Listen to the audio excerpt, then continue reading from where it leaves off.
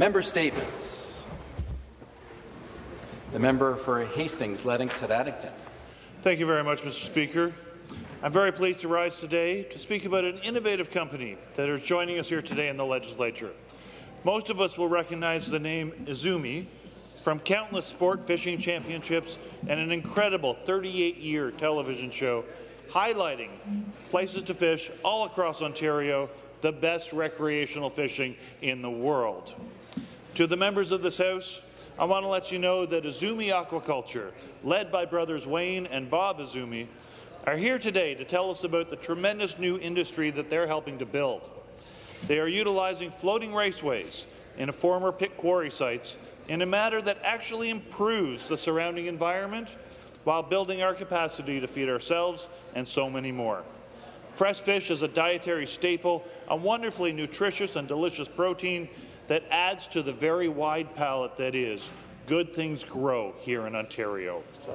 Upper Canada steelhead salmon is delicious, and all of us are invited to join the Izumi brothers and several other members of the team at Izumi Aquaculture to sample the delectable treat that is locally sourced and expands our food security and capacity. I hope you will all join us today after question period in room 230 for a taste and to learn more about this innovative approach. Thank you, Mr. Speaker.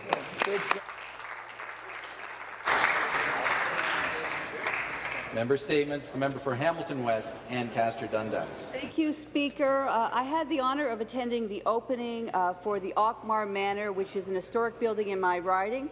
Auchmar Manor was built in 1855 by Sir Isaac Buchanan, a political leader who represented Hamilton in the Legislative Assembly of the Province of Ontario pre-Confederation.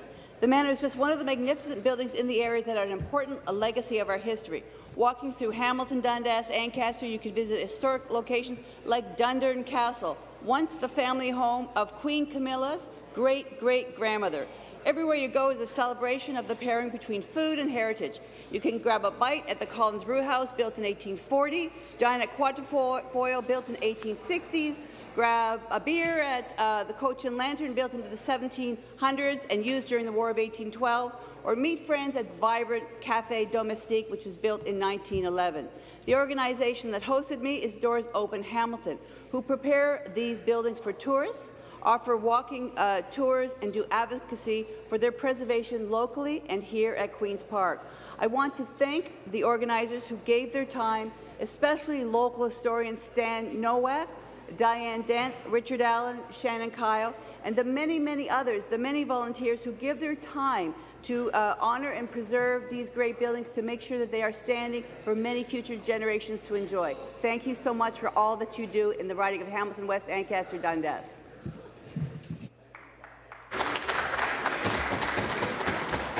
Thank you. Member statements. The member for Glengarry, Prescott Russell. Merci. Thank you, Speaker.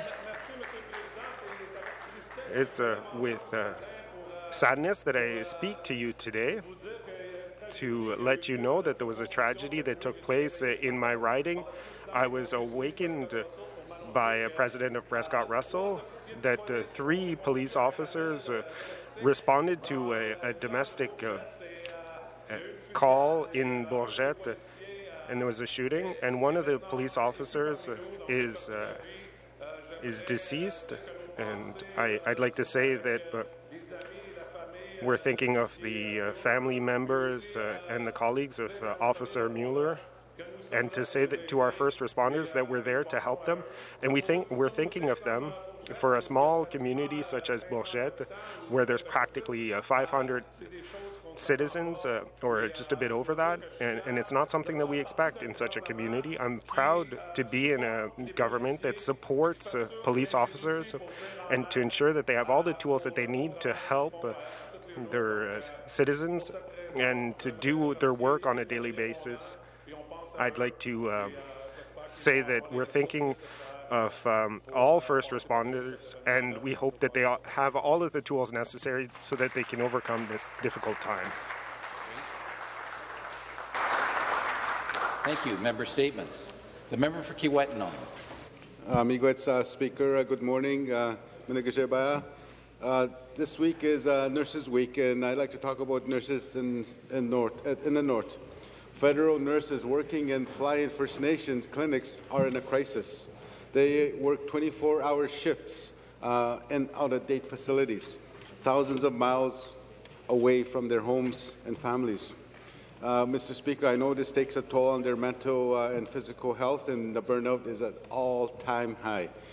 These are, the, the healthcare crisis uh, faced by the people of Kiiwetinoong is made worse by these conditions, which leads to uh, uh, unnecessary suffering. It leads to uh, needless deaths. All levels of government have a treaty obligation to provide health care. Rather than dealing with the causes uh, of this recruitment and retention crisis, the federal government spends millions of dollars contracting out work to private nursing agencies. And we know the Ontario does this exact same thing. This approach uh, leaves patients in the north uh, without the consistency and the quality of care uh, they deserve and creates a situation where staff and nurses are working alongside freelance workers and, and double their salaries.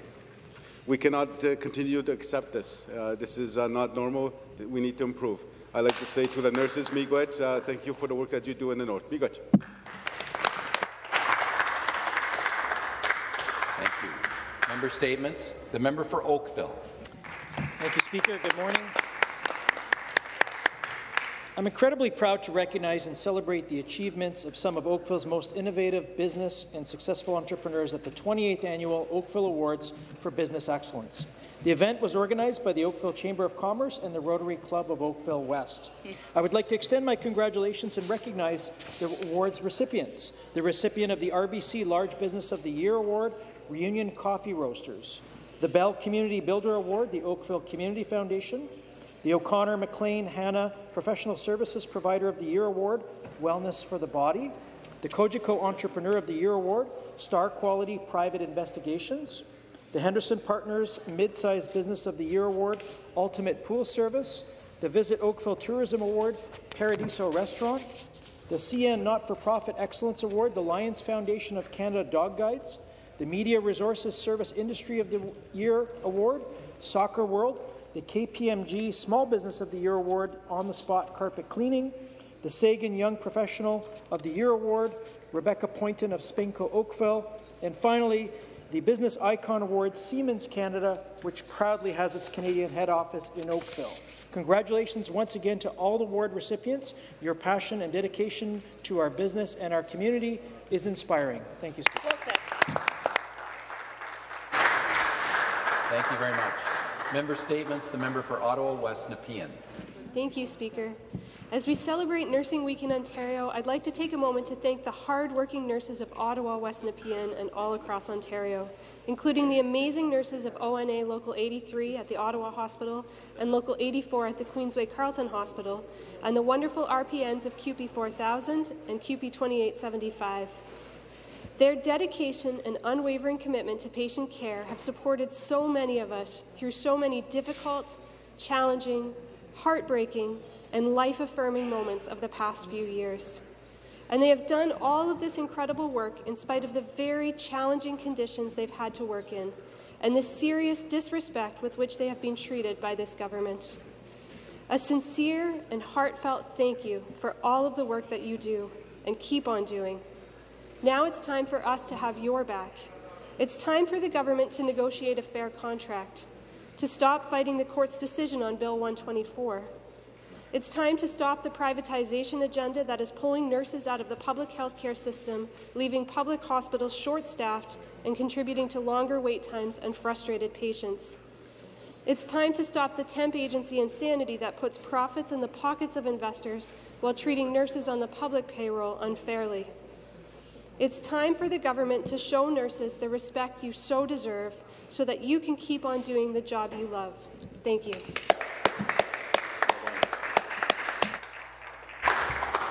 Thank you very much. Member statements. The member for Kitchener South Hespeler. Thank you, Speaker. Um, I had, a, uh, I, I had a, a, topic in mind that was far more cheerful, and then I woke up this morning and found that we had lost another police officer in the line of duty, Sergeant Eric Mueller. And um, part of me considered just standing here for the remainder of my time because there really are no words. Um, but what I, what I wanted to say was to the, the officers out there, the, the friends and the family, how deeply sorry I am. Um, I was the partner of a police officer for quite some time, and we were together um, during the period of the Nova Scotia shootings. And he wasn't even a patrol officer, he was in major crime, so not generally responding to calls.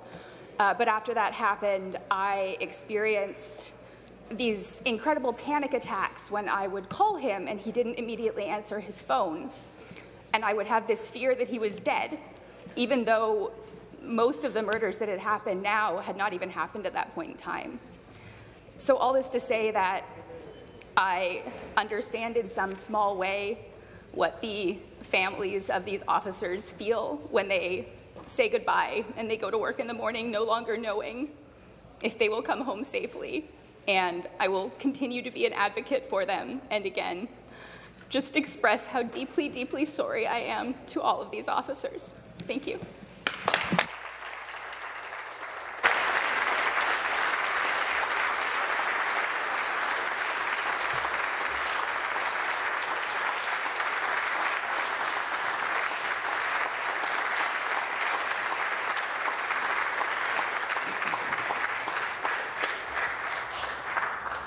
Thank you. Member statements. The member for Algoma Manitoulin. Thank you, Speaker. Uh, May is National Lyme Disease Awareness Month across Canada. It is an opportunity for Lyme patients, advocates and educators to spread awareness about how to prevent Lyme and tick-borne diseases. I want to recognize some of the groups working tirelessly across Ontario to improve the lives of people who have Lyme disease. Linda Kelso and the Ontario Lyme Alliance, CanLyme, Rosanna Magnotta and the G. Magnotta Foundation for Vector-Borne Diseases, as well as Dr. Melanie Wills with the University of Guelph Lyme Disease Research Lab. They are all advocating for more resources for patients of Lyme disease across Ontario and Canada. Lyme disease is a significant and growing health issue across our province. It is a tick-borne bacterial infection. Lyme-carrying ticks are on the rise across Canada and the highest rates of human-acquired cases in Ontario.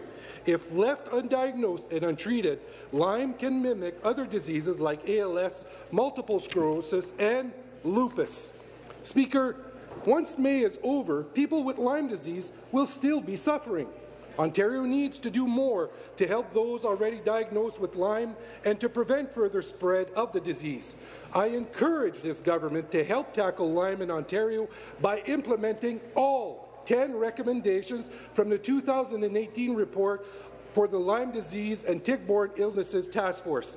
And Speaker, I challenge all MPPs to join me to take a bite out of Lyme on the front lawn this afternoon, right after question period.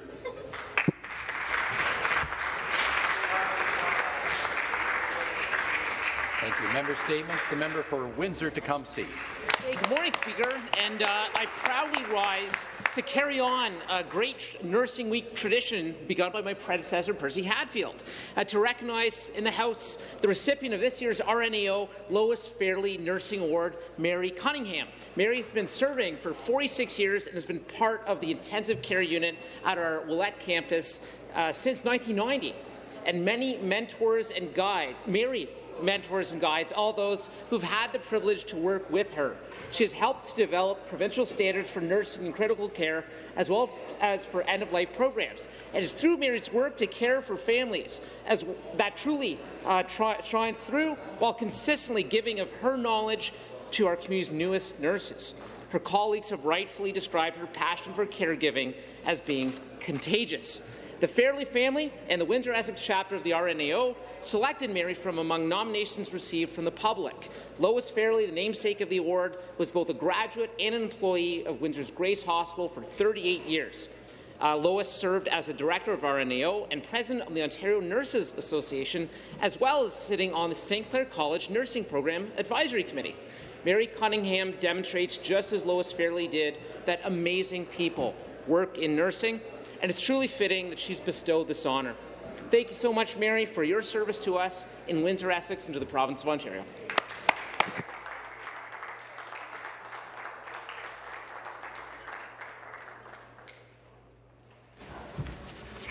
Member statements. The member for Mississauga Centre. Thank you so much, Speaker. And I really want to thank all the colleagues who have mentioned Nursing Week. It's truly heartwarming to receive all those wishes. So, yes, Mr. Speaker, this week is National Nursing Week, a chance for us to recognize and celebrate the invaluable contributions that registered nurses, registered practical nurses, nurse practitioners, and nursing students make to our healthcare system every day. This year's theme is Our Nurses, Our Future, using the hashtag HeyNurse, showcasing the many roles nurses play in a patient's journey to wellness, connecting patients to the high-quality care they need closer to home. As a registered nurse and a clinician myself, I recognize the invaluable contributions nurses make to our province, being the gentler touch in healthcare, the face of dignity, and the voice of compassion that so many of our patients need. As we know, nurses have worked through unprecedented challenges and have continued to rise to the occasion.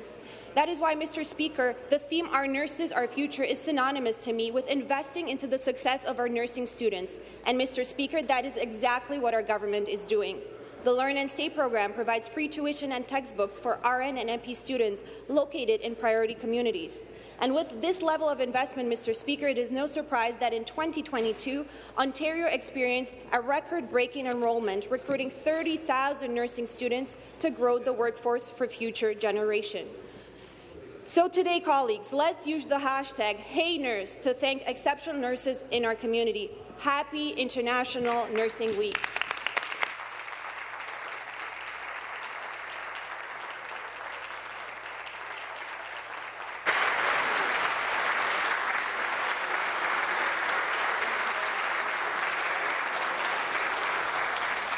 Thank you very much. That concludes our member statements for this morning.